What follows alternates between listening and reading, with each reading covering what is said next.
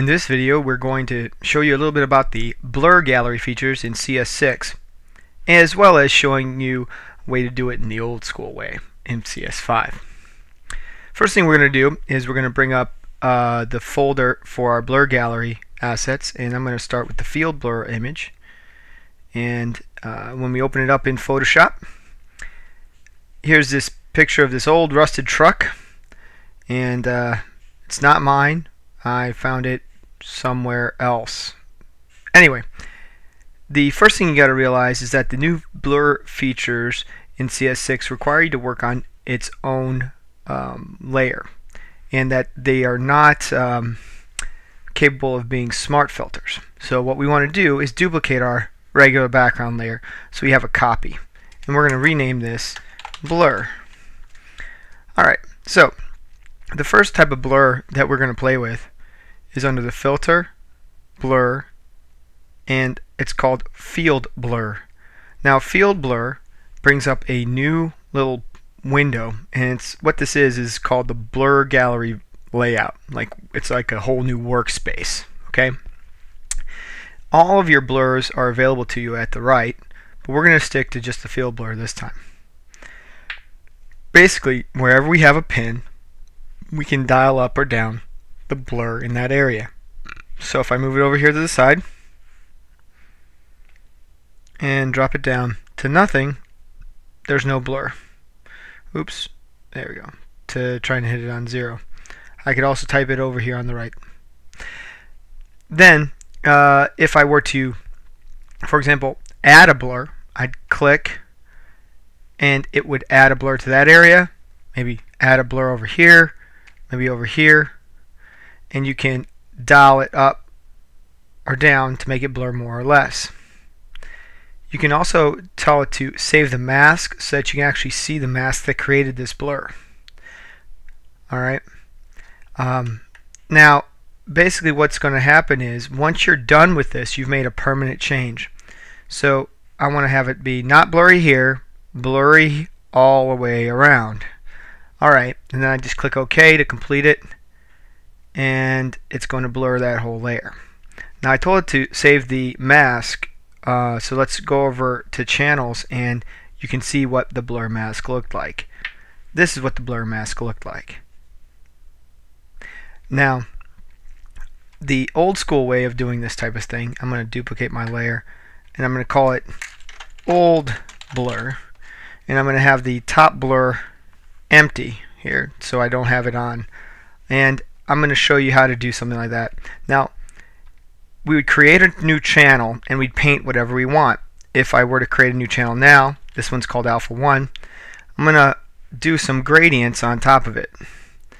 Let's do a, well, let's see, we'll go the opposite, turn that on reverse. So I have a gradient here, and whatever I happen to do with my um, Alpha 1 layer here, I can paint some extra black in it, you know, whatever I want to do.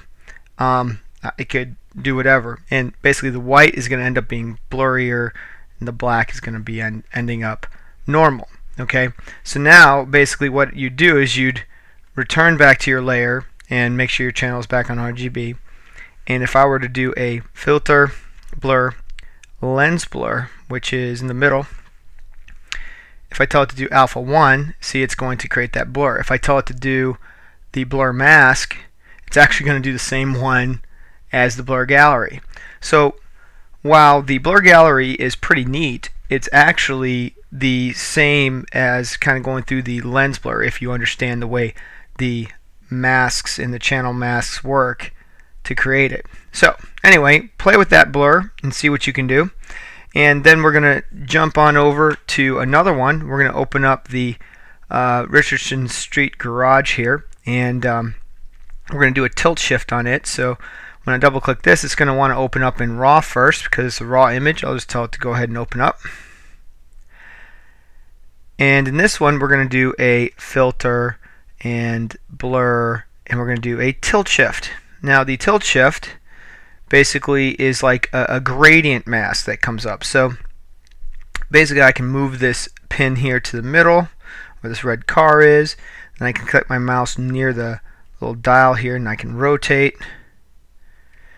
And a little too much let's see. You can also pull it out further. This represents um, white to full blur or whatever like non-blur to full blur.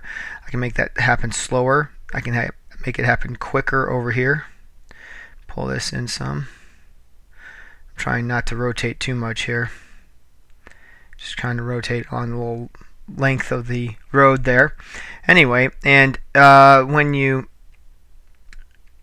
when you uh, do this, you can end up creating a what is called a tilt shift. It kind of makes everything look like tiny town, if you will. And we're going to save the mask to channels and click OK as well. we're going to take a look at what those look like over here. So I'm going to click on the channels and you can see that's my blur mask there right? So you can use lens blur and create a radi uh, a linear gradient, right? And it'll do that. Let's try um, one more here. Um, okay, this one here is the Orthodox Cathedral. We're going to pull that one up. And it's also a raw image, so we're going to let that open up. And this one here, we're going to do the last type, which is filter, blur, and iris blur. And what it is is it, it's kind of doing it on the focus here, so it's kind of like a circle version of the of the blur. So you can see how you can take it in, make it more rectangular, widen it, take these out, make it focus in, and you see how you can blur and then you see how you can make it really blur along a circular path or an elliptical path. And then we'll save the master channels on that so you can see what that one looks like. I do want to also make sure you realize that I'm you know didn't duplicate my layer on these.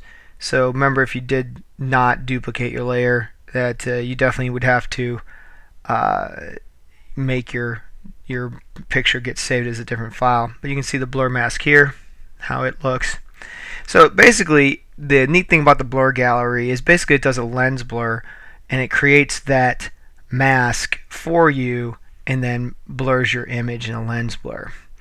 Pretty neat uh, effect.